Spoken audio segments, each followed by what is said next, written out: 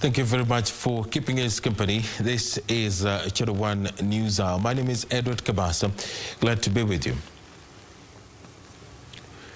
Let us take a look at uh, security matters now. The National Police Service has dismissed claims of human rights violations in the ongoing security operation in Kapedo.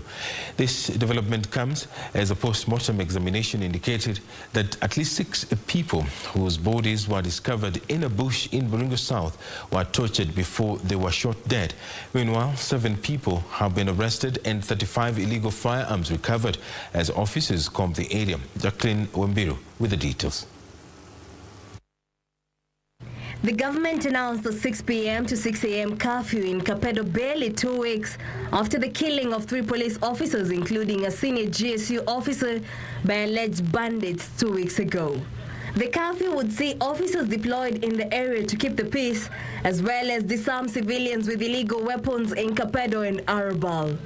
Following the start of the operation, the officers have been accused of human rights violation, prompting the police spokesperson Charles Owino to speak out on the claims. So we don't have things called extrajudicial killing. It's a fallacy. It's a political gimmick that people use. Yes, there are circumstances when a person may be killed lawfully or unlawfully because extrajudicial killings requires you to have a policy to execute. We don't have as a government a policy to execute. And you are aware that even cases where police officers have unlawfully killed, we have charged them in court. The officers are on the spot following a post-mortem of the bodies of six people found dumped in Baringo South, which indicate they were tortured before they were shot dead. There's nothing we are covering. If somebody has died in a circumstance that it is thought that he has been killed by another person, then it is important that we inquire into the cause of death through a court of law. And if somebody has been involved in the killing, the person will take responsibility, especially the police. We don't take collective responsibility. We take individual responsibilities. That is why even when we are 20 in an operation and somebody is killed and is killed unlawfully, we take those guns for forensic to determine and establish who in particular has killed them. Owino says the multi-agency operation will continue until normalcy is restored. At the same time, he pointed out seven people have been arrested and 35 illegal firearms recovered.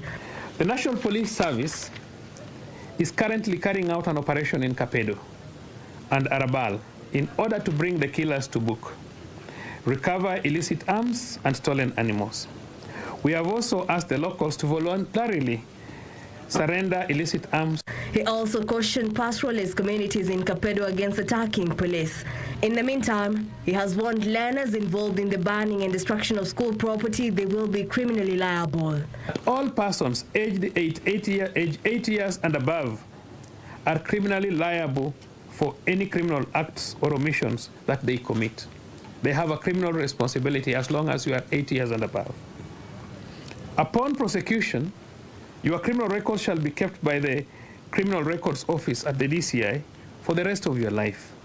This will definitely affect your future career prospects.